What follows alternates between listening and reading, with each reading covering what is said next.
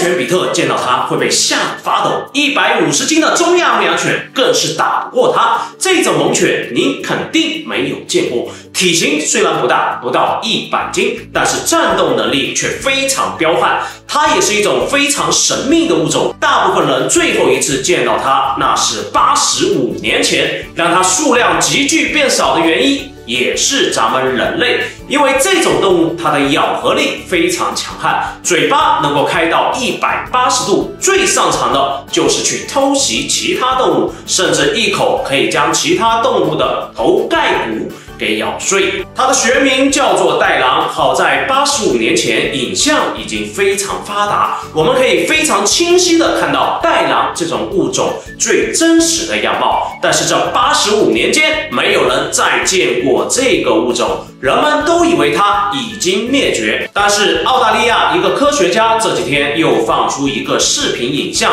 引起巨大争议。他宣称再次拍摄到了袋狼，但是由于视频资料非常模糊，也有人说这是造假的。甚至有很多网红直接奔赴海外，想去寻找这种袋狼。